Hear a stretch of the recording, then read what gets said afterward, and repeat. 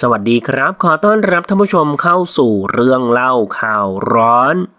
ปุ้มปุ้ยกวินถูกถามขอดูหน้าลูกชายทุกวันท้อหนักหรือคิดผิดที่ปิดหน้า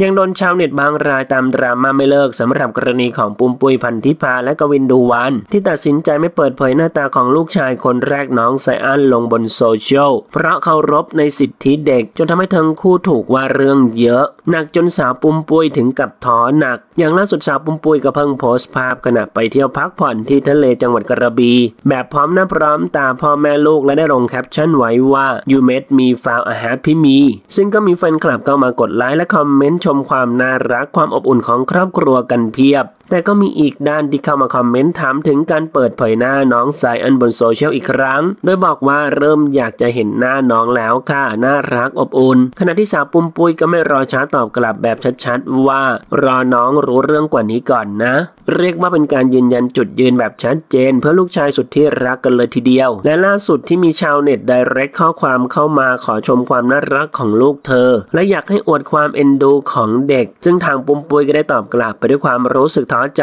ว่าท้อค่ะเอาจริง ตอนนี้เริ่มสับสนว่าหรือเราคิดผิด พร้อมอีโมจิน้ำตาไหล หลังจากนั้นปุ้มปุ้ยก็ได้โพสต์คำคมจากหนังสือผ่านไอจีสอรี่ส่วนตัวว่า คุณไม่สามารถเสียเวลาทั้งชีวิตเพื่ออธิบายคนทั้งโลกว่าคุณเป็นคนยังไง แต่คุณสามารถใช้เวลาทั้งชีวิตมีความสุขกับตัวคุณเอง และคนที่แคร์คุณจริง ๆท่านผู้ชมนะครับ มีความคิดเห็นอย่างไรกับเรื่องนี้ลองแสดงความคิดเห็นกันเข้ามาดูนะครับ ขอขอบคุณข้อมูลจาก topnewsroom.info ขอบคุณครับ